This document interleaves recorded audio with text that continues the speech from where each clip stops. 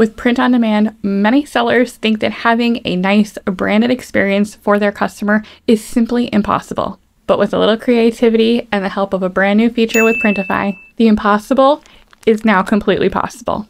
Welcome back to my channel. My name is Mandy, and as the owner of multiple six figure businesses, including several Etsy print on demand shops, my goal is to provide you with strategies to simplify the print on demand journey, scale your business faster, and ultimately help you feel empowered to achieve your own success. Now, when it comes to running a business, branding can take many forms. For example, my handmade business is all about natural skincare, so my branding is all about nature, soft colors, wildflowers, bees, and things like that, because that's ultimately what my brand is all about.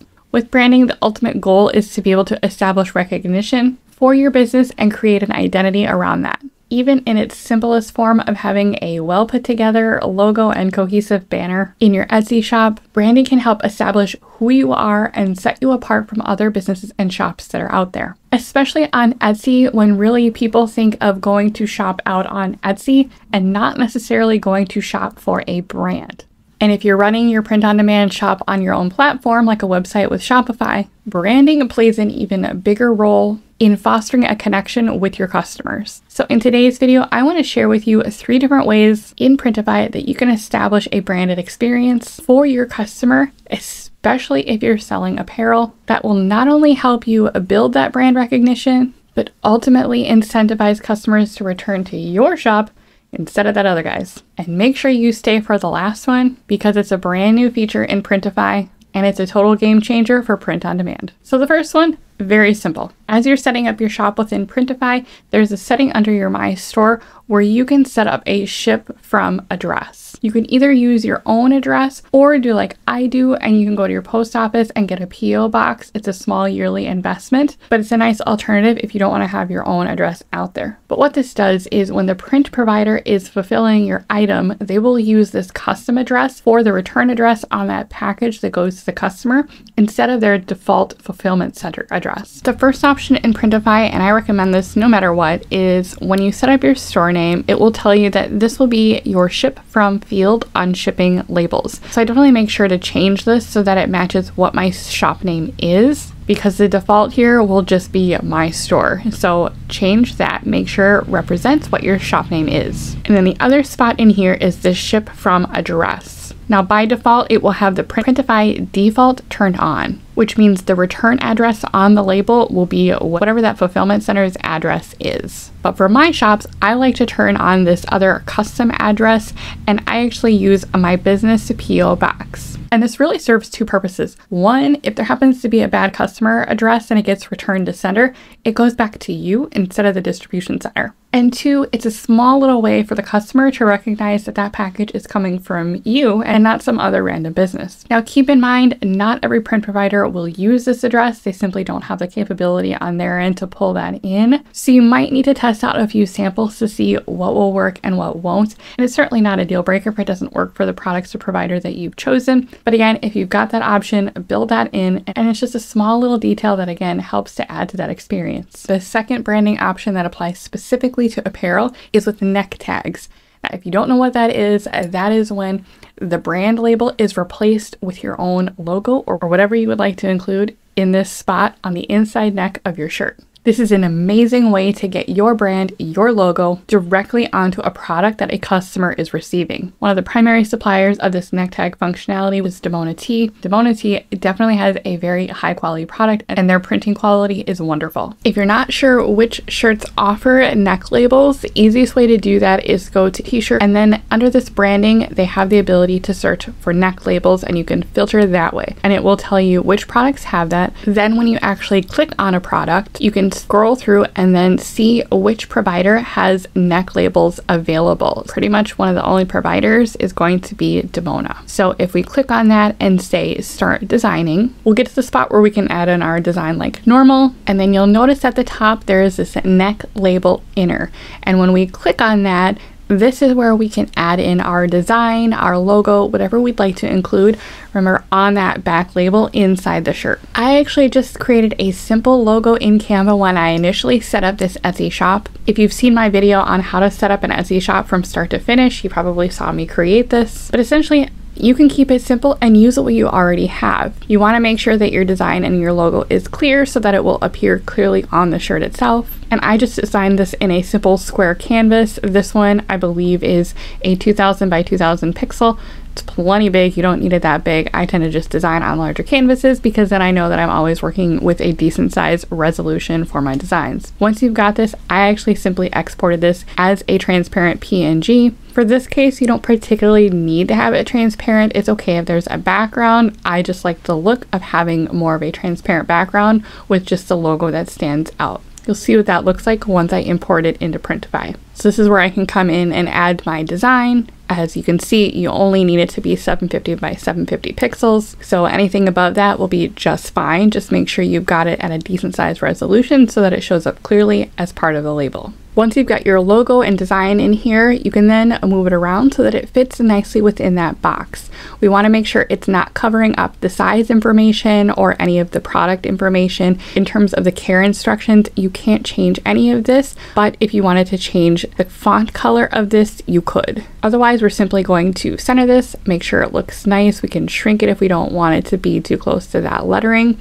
And then if we go up to preview, we can see here exactly what it will look like on the shirt along with our design. These neck labels won't automatically come into every new design. You'll need to create it every time you're creating a new product in Printify. But a neat little trick that I like to use is you can save it as a template. So once I've got my logo in here, if I go save as template, it's going to save it. I can type in logo and save it. And then if we were needing to add this design, say we were starting with a brand new product, then your templates end up being right up here under my templates. And so click on that and you've automatically got your logo that you can just pop into place and you're good to go. You don't have to find it and go search for it every single time. And the third and final branding functionality that you can do directly within Printify is what I am personally most excited about. It's a brand new feature, and I think it's a game changer when it comes to print on demand and, and, having the option for branding. And the best part about it is it's completely free. This new feature is branded inserts. You can now turn on the ability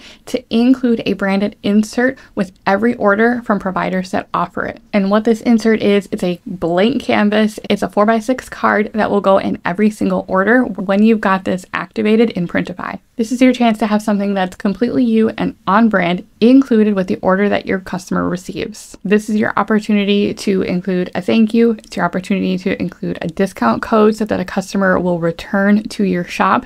And in doing so, you can also very easily have your website or a QR code like I have on mine where a customer can literally scan your card, get taken directly to your shop, and use that code. This is a brilliant way of incentivizing customers to return specifically to you, not just, oh, I think I bought this on Etsy. No, this is your branding, your shop. You get the creativity to have this insert in there and create it entirely around your branding so that a customer will recognize it as your shop when they open your order. And if they love the product, go right back to your shop and hopefully buy some more. You definitely have the ability to create your own card using the tools that are built into Printify, very much like you would with a mockup generator for creating your own designs. However, I like to take it one step further and design my brand insert entirely in Canva and then upload the entire design into Printify. When I'm in Canva, I'm going to set this up as a 6 inch by 4 inch card.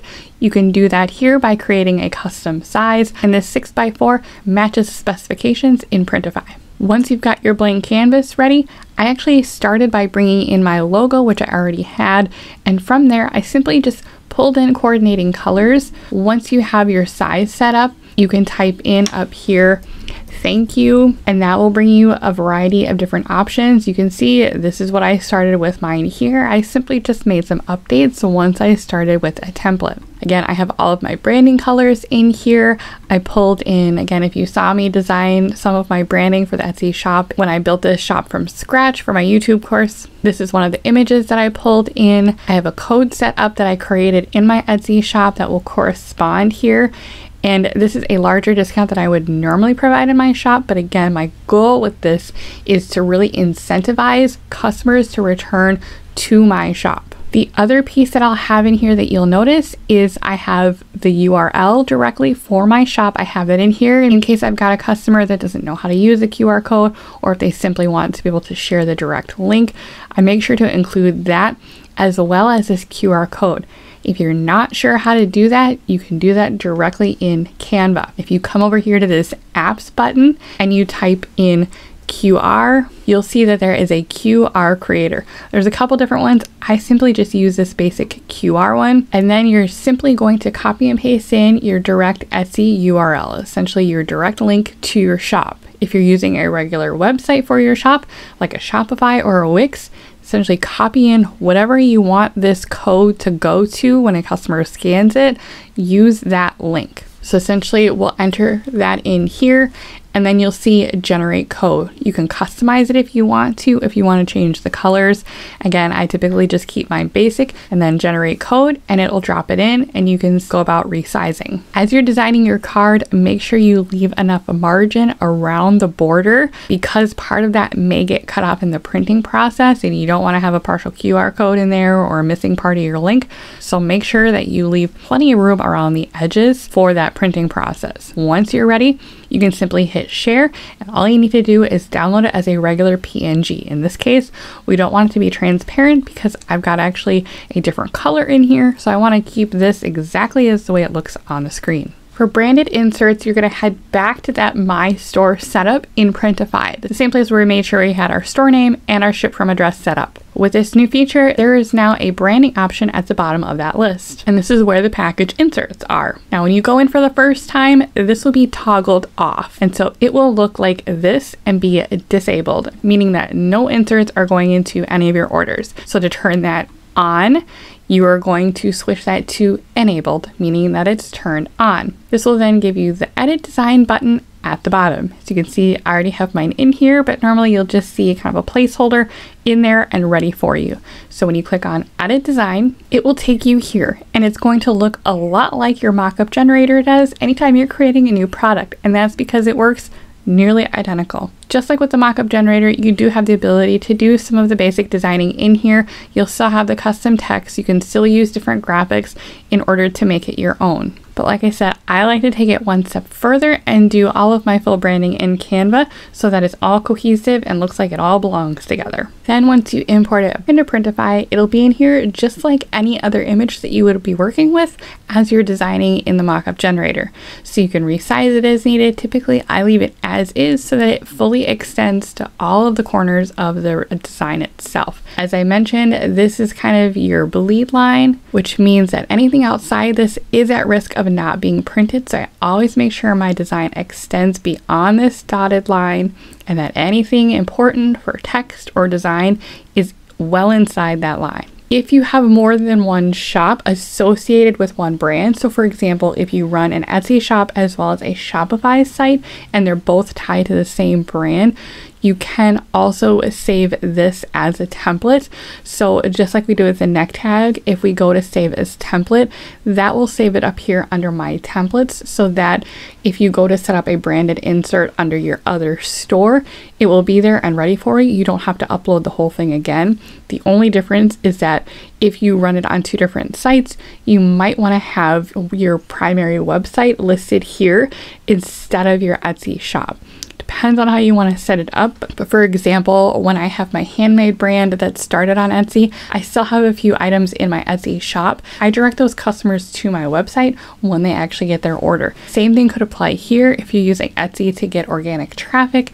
You could then use this as your tool for driving traffic to your website if you run both of those. You don't have to, but many shops do that. So that is one strategy that you could use for this branded insert. Otherwise, if you have just an Etsy shop or if you have just a Shopify site, put your website in there, have that already as part of your branding, and use this branded insert for your shop. Once your insert is ready and you've got it designed how you want to, simply save this product. That will then update the image here and it is ready to go, meaning that any order going forward with the branded insert option available will have this inserted in the order. So right now I know that Dimona has this available. As you're scrolling through products, you'll be able to see in this branding the inserts option as well. If you saw me going here to filter for neck labels, you probably saw this here as well and might have wondered what it is. Now you know. So if we filter by both neck labels and inserts, this again shows us which products here under the t-shirt category will be able to do that. As this feature continues expanding, there will definitely become more options and more providers available. You also don't have to filter. So if you're not sure and you're simply scrolling through products, let's say we click on Gildan 64000, the other place that it will show up as you're scrolling is right here. So you can see there are little flags that are associated with each of these brands. You can see Dimona, again, has that branded inserts as well as neck labels. The cool thing is once you have branded inserts turned on, as I said, any order going forward from that moment will have the branded insert included in the order. And you can tell by when you click on the order itself, you'll see here that the branded insert is now attached in there right next to where your product preview is. And you can see this little notification here that says branded insert included. So that's how you'll know that the insert is going to be included when that print provider fulfills the order to your customer. And again, this is all at no additional cost to you. Keep in mind, not all providers have the capability of doing this, so just be aware of that and look for the designation when you are selecting your products. At the moment, I know that Dimona was kind of the flagship provider to do this, and when paired with that neck tag is a great way to again combine that branding. And if you've seen any of my videos, you know that I have a handmade business. Does the branding that's available in Printify or any other print on demand provider compare to a handmade business and what you're able to do there? No. Quite frankly, it'll probably never match that. And with print on demand, you don't necessarily want it to. And that's because, again, we are paying for the convenience of someone else to do the heavy lifting with fulfilling our orders. The more tasks that we give them in this fulfillment process, the higher those costs will be and the smaller our profit margins will be. So, as business owners, specifically for print on demand, ultimately our goal should be in balancing our efforts to have both that positive branded experience for customers when it's possible, providing a quality product, and still ensure that we are running a financially sound business in the process. If you're adding on all the fancy layers and the fancy branding, but not making any money in the process, you're not actually running a successful business. So just remember it's about having that balance. But ultimately, I think that utilizing these branding options within Printify will definitely help us achieve that goal and maintain that balance. I hope this video has been helpful for you. I can't tell you enough how I myself am personally excited about this. I love branding. I think it's fun to create these types of branding opportunities. And so I hope that you'll be exploring them as well. If you want to learn more about my strategies for print on demand success, make sure you're subscribed to my channel and make sure you have notifications turned on so you don't miss out on any of the upcoming content that I've got planned. And in the meantime, make sure that you check out my dedicated playlist with my free masterclass course available right here on YouTube. Thanks for watching. I'm so glad you're here, and I'll see you next time. If you're looking for more helpful ways to continue the work and stay connected, I invite you to join me over on Patreon, where I provide a membership to get exclusive access to my Google Drive with all sorts of wonderful tools and resources that I've created and continue adding to every month. It's also a place to join conversations as I think about future content and how I can serve you with the most amount of value. I also hope that you'll smash that subscribe button so that you don't miss out on all the exciting upcoming content that I've got planned for this channel. And finally, I invite you to check out my brand new website where you can subscribe to my own email list, follow along on new blog content that I will be building, and access other freebies that I have available on there to support you on your journey.